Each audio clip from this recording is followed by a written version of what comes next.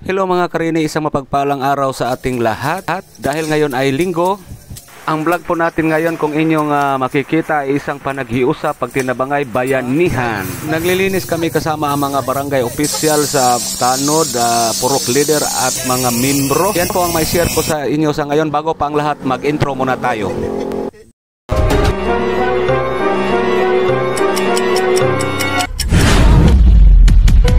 Ang gaganaping bayanihan ay kalahating araw lang. So dito banda inayos na ni Kap ang helicopter este uh, grass cutter para sa mga damo na hindi kaya hampasin ng uh, sundang.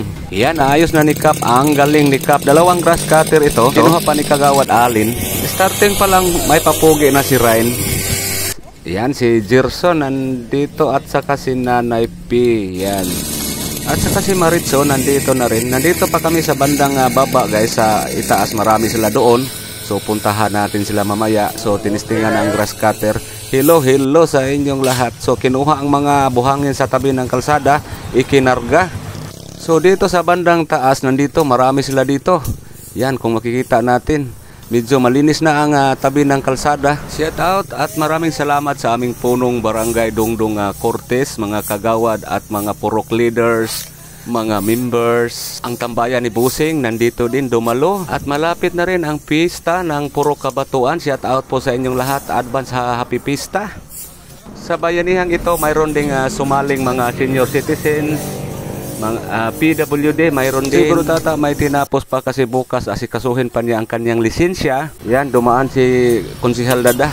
Linggo ngayon siguro pagkatapos ng pagsimba nila kaninang umaga, kinilos na siguro nila ang mga gawain ng bahay katulad ng paglalaba, pagtugway sa kanding ug baka. So ako po ay nakabidyo-bidyo lang dahil hindi ko kaya po ang mga gawain nila. Ang maitulong lang natin, magbigay ng ah, kunting ah, para pang snacks, dagdag pang snacks. So wala pang snacks time. So patuloy, patuloy ang paggawa nila. Patuloy ang paglilinis. Ang daming kugon dito sa tabi ng kalsada. Kapag hindi ito makuha guys, sa sumikip tingnan yung kalsada. Mas maganda makuha para maganda tingnan yung ah, kalsada, malinis. Shout out sa inyong lahat sa mga dumalo. Shout out po sa inyong lahat at mag-shout out na rin ako sa ating mga sa ating ilan sa ating mga sponsor sa ating uh, charity? Nila ni Sir Eric and Ma'am Teresa Wagas shout out. Ang Lao Sisters shout out po sa inyo. Ang Nubi- Nubina Group of Our Lady of Perpetual Help sa New Jersey. Sa Il Shaddai Family sa Singapore shout out.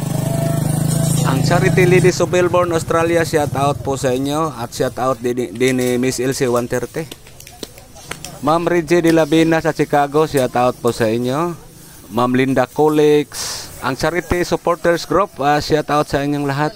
Ang Team Magic, shout out. Sir Johnny Panso, shout out. Ma'am Mirna Silo, shout out po sa inyo. Sa ating sa ating kaibigang PWD rin sa Toledo, uh, shout out Sir Archie Suero Kamanyan sa Toledo, shout out po sa inyo, sir. At si Sul- Sulpicio Dag Uman Junior, Sulpicio Daguman Junior sa Liluan, Cebu. Shout out po sa inyo. Helisoy Marje, shout out sa inyo ma'am. Di Fabian Opolintissima Clan, shout out po sa inyong lahat. Sa lahat na lang, ah, shout out sa inyong lahat. Maraming salamat sa laging suporta nyo sa aming channel, Rini OC. Yan, ah, patuloy, patuloy sa paglinis. Yan si, si Ryan, kinagat na ng langgam. Yan, tinanggal yung mga dahon na lumagpas sa kalsada, dahon ng niyog.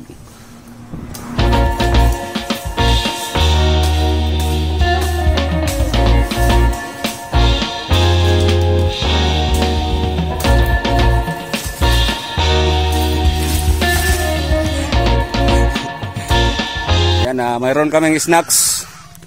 Snacks! Lang snacks dito. Mamaya na lang ang red horse.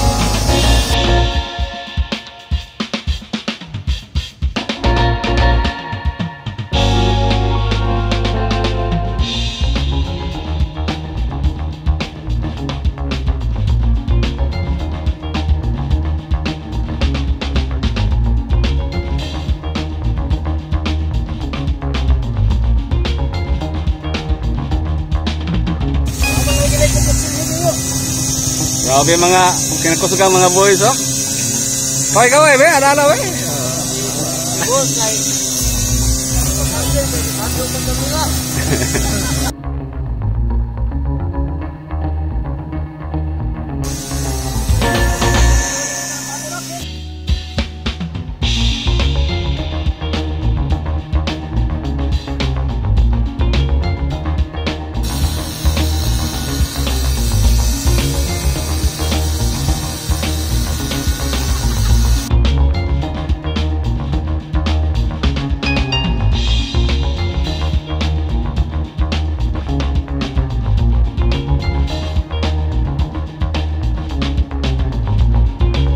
Yan, abangan ninyo ang aming update sa aming mga charity works.